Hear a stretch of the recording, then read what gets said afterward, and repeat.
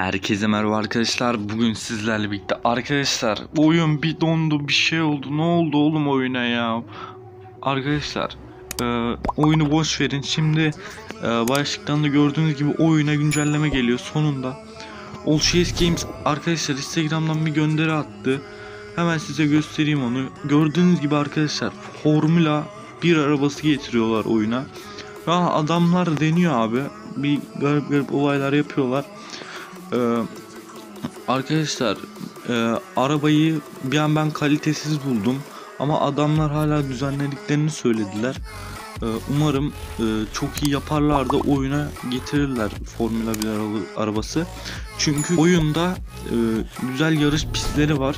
Orada güzel bir toplantı yapılıp yarış da yapılabilir herkesle. Düşünsene 15 kişi Formula 1 ile geliyor böyle yarışıyor. Yani efsane olur bu güncelleme. Arkadaşlar siz nasıl buldunuz bu arabayı? Yorumlara kesinlikle yazmayı unutmayın.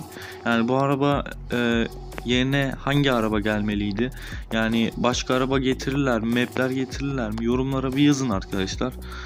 Ee, ben bundan açıkçası sar modu getirirler sanmıştım. Ee, ama getirmediler. A- yeni araba getiriyorlar yine. Umarım araba güzel olur. Ee, daha çok bilgiler geldi ben size aktarmaya devam edeceğim arkadaşlar. Şimdiki bilgiler bunlar. Yani adamlar güncellemeyi deniyor. Ee, hadi bakalım biz de güncellemeyi bekleyeceğiz. Yeni yeni özellikler de getirebilirler. Arkadaşlar e, beklemede kalın. Yani güncelleme geldi ben size daha çok bilgiler vereceğim. Like atmayı ve abone olmayı unutmayın. Bir sonraki videoya denk. Hepiniz hoşçakalın.